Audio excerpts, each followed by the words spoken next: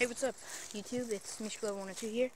Um, if some of my older subscribers remember, I used to, um, make videos while I was taking my dog out.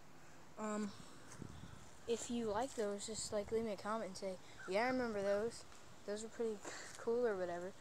I mean, I just decided, um, uh, to start taking him out again.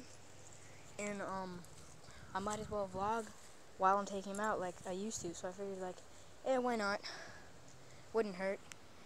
And uh, cause I've been like I haven't posted a video in like a few days, not a few days, probably like I think a week.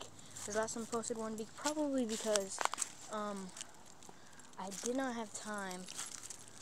Um, I've been really busy lately with stuff.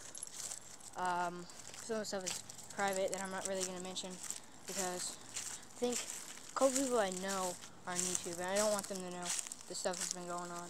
I mean, so that's sort of the reason why I haven't been posting videos, because I've been busy and everything, but not that anyone, like, is gonna die if I don't make videos. I only have 50 subscribers, but I mean, why are we going this way? You wanna go, you wanna go the short way, or go the long way? So, um, basically, I'm gonna be start, I'm gonna start doing these videos again uh, walking Dobie here. He's gotten so fat. Wait, this, this way.